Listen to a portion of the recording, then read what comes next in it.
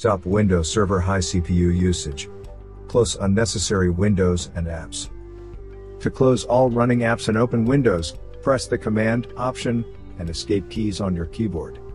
When a Force Quit menu appears, select an item and click on Force Quit. Then, click on Force Quit again. Reduce the number of desktops. Open Mission Control. Take your mouse to the top bar and hover over a desktop you want to close. When an X button appears in the top left corner of the desktop, click on it to remove it. Enable Reduce Transparency. Click on the Apple logo. Then click on System Preferences. From the menu, choose Accessibility. On the left sidebar, locate and select Display, then, in the Display tab, check the box next to Reduce Transparency. Disable separate spaces for displays. Click on the Apple logo. Then, select System Preferences. Select Mission Control. Now, uncheck the box next to Displays have separate spaces. You can also try to disable automatically rearrange spaces based on most recent use. When done, restart your Mac for the changes to take place, and check if the CPU consumption by the WindowServer is lower. Remove unnecessary login items. Click on the Apple logo. Select System Preferences.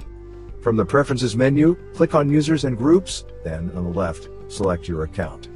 Go to the Login Items tab. Choose an item and click on the minus button to remove the process. Restart your Mac. Restarting your Mac will close all running applications and processes. This step will reduce CPU usage drastically. Make sure to uncheck the box next to reopen Windows when logging back in. That way, when you log back in, you can start fresh. Update apps and Mac OS. To update apps, open the App Store. From the left sidebar, select Updates. At the top right corner, click on Update All. To update Mac OS, click on the Apple logo and go to System Preferences. Then go to Software Update. Wait while the system searches for updates. If found any, update your Mac. Hopefully, this video provided the information you were looking for. If you're using a Mac computer, we would like to suggest scanning it with Combo Cleaner. It will check your computer for malicious software infections and advertising supported software. Combo Cleaner also offers a disk cleaner that will help you clean out the junk accumulated on your Mac. A big files finder that will help you find files that take up the most space on your Mac.